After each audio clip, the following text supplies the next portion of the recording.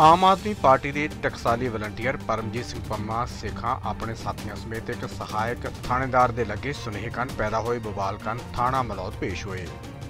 ਪੰਮਾ ਸੇਖਾਂ ਦਾ ਕਹਿਣਾ ਹੈ ਕਿ ਜਿਸ ਅੰਨਾ ਅੰਦੋਲਨ ਵਿੱਚੋਂ ਪਾਰਟੀ ਨਿਕਲੀ ਹੈ, ਉਸ ਸਮੇਂ ਦੀ ਪਾਰਟੀ ਦੀ ਬਿਹਤਰੀ ਲਈ ਸਰਗਰਮ ਰਹੇ ਹਨ।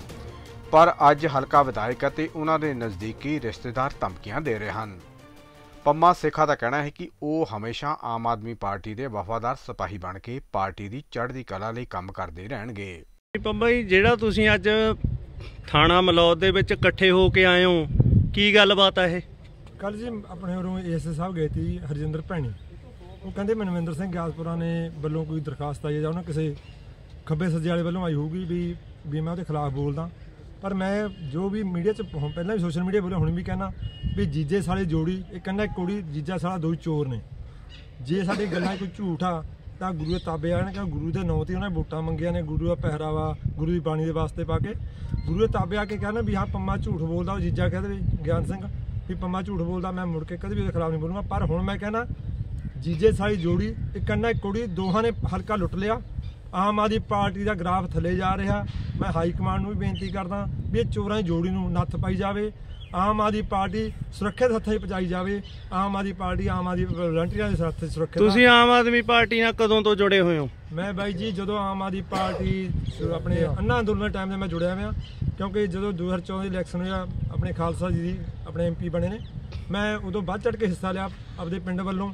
ਤੇ ਮੇਰੇ ਪਿੰਡ ਦਾ ਬਹੁਤ ਸਹਿਯੋਗ ਮਿਲਿਆ ਆਰਥਿਕ ਪੱਖੋਂ ਹਰ ਪੱਖੋਂ ਇਹ ਸਹਿਯੋਗ ਕੀਤਾ ਪਾਰਟੀ ਨੂੰ ਜਿਤਾਉਣ ਲਈ। 2022 ਚ ਐਮਐਲਏ ਮਨਵਿੰਦਰ ਸਿੰਘ ਗਿਆਸਪੁਰਾ ਦੀ ਮਦਦ ਕੀਤੀ ਸੀ?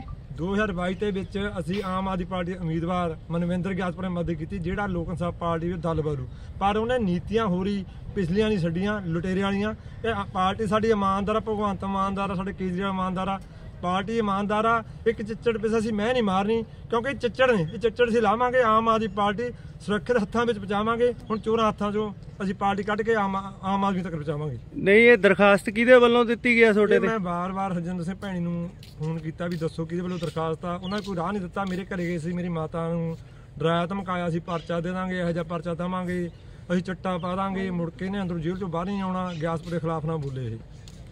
ਇਹ ਹਰਜਿੰਦਰ ਸਿੰਘ ਭੈਣੀ ਦਾ ਇਹ ਦਾ ਕਹਿਣਾ ਪਾਰਟੀ ਦਾ ਕਿੰਨਾ ਕੋ ਕਸੂਰ ਹੈ ਗੱਲ ਚ ਆਮ ਆਦਮੀ ਪਾਰਟੀ? ਪਾਰਟੀ ਦਾ ਮੈਂ ਕਸੂਰ ਮੰਨਦਾ ਨਹੀਂ ਇਹ ਤਾਂ ਇੱਕ ਜਿਹੜਾ ਚਿੱਚੜ ਬੈਠਾ ਜੀ ਗਿਆਨ ਸਿੰਘ। ਪੈਲ ਦਫ਼ਤਰ ਦੀ ਬੁੱਚੜਖਾਨਾ ਦਫ਼ਤਰ ਦਾ ਪਹਿਲਾਂ ਹੀ ਜਦੋਂ ਅਸੀਂ ਵਲੰਟੀਅਰ ਜਾਂਦੇ ਸੀ ਹੁਣ ਤਾਂ ਉੱਥੇ ਬੁੱਚੜ ਪ੍ਰਗਟ ਸਿਆੜ ਵਰਗੇ ਏਪੀ ਜੱਲੇ ਵਰਗੇ ਤੇ ਹੋਰ ਵੀ ਨੌ ਮੈਂ ਭੁੱਲਦਾ ਉਹਨਾਂ ਦੇ ਉਹ ਬੈਠੇ ਨੇ। ਪਾਰਟੀ ਦਾ ਦਫ਼ਤਰ ਨੇ ਬੁੱਚੜਾ ਦਫ਼ਤਰ ਬੁੱਚੜਖਾਨਾ। ਅੱਜ ਤੁਸੀਂ ਇਕੱਠੇ ਹੋ ਕੇ ਆਏ ਹੋ ਗ੍ਰਿਫਤਾਰੀ ਦਵੋਗੇ ਹਾਂਜੀ ਬਿਲਕੁਲ ਦਵਾਂਗੇ ਜੋ ਵੀ ਅਫੈਂਸ ਲੱਗੂ ਮੈਂ ਕਾਨੂੰਨ ਦੇ ਦਾਇਰੇ 'ਚ ਰਹਿ ਕੇ ਮੈਂ ਆਪਣੀ ਗ੍ਰਿਫਤਾਰੀ ਦਊਂਗਾ। ਤੇ ਜੇਲ੍ਹ ਜਾਊਂਗਾ ਮੈਂ ਕੋਈ ਜ਼ਮਾਨਤ ਨਹੀਂ ਕਰੂੰਗਾ। ਰਾਓ ਸਾਹਿਬ ਅੱਜ ਥਾਣੇ 'ਚ ਸਵੇਰੇ ਇੱਕ ਆਮ ਆਦਮੀ ਪਾਰਟੀ ਵਾਲੇ ਬੰਦੇ ਆਏ ਸੀ ਕੋਈ ਪੇਸ਼ ਹੋਣ ਕੀ ਕਾਰਨ ਸੀ? ਕਾਰਨ ਇਦਾਂ ਸੀ ਆ ਜਿਹੜੇ ਰਾਹੁਲ ਸ਼੍ਰੀ ਰਾਹੁਲ ਗਾਂਧੀ ਜੀ ਆਏ ਹੋਏ ਸੀਗੇ ਉਹ ਤੇ ਸਰਚ ਅਭਿਆਨ ਚੱਲਦੇ ਸੀ। ਉਹਦੇ ਵਿੱਚ ਇੱਕ ਬੰਦੇ ਨੂੰ ਬੁਲਾਇਆ ਗਿਆ ਸੀਗਾ ਉਹ ਸਰਗਰਮ ਮੈਂਬਰ ਹੈਗਾ ਕਾਫੀ। ਉਹਦੀ ਪੁੱਛਗਿੱਛ ਕਰਨੀ ਸੀਗੀ ਉਸ ਕਰਕੇ ਉਹਨੂੰ ਬੁਲਾਇਆ ਗਿਆ ਸੀਗਾ। ਠੀਕ ਆ। ਉਹ ਹੋਰ ਤਾਂ ਕੋਈ ਮੈਟਰ ਨਹੀਂ ਸੀ ਨਾ, ਨਾ? ਕੋਈ ਹੋਰ ਕੋਈ matter ਦਰਖਾਸਤਬਾਜੀ ਹੋਤਾ ਨਾ ਹੈ ਕੋਈ ਨਹੀਂ ਦਰਖਾਸਤਬਾਜ਼ੀ ਨਹੀਂ ਸੀ। ਕੋਈ ਮੈਟਰ ਨਹੀਂ ਸੀ।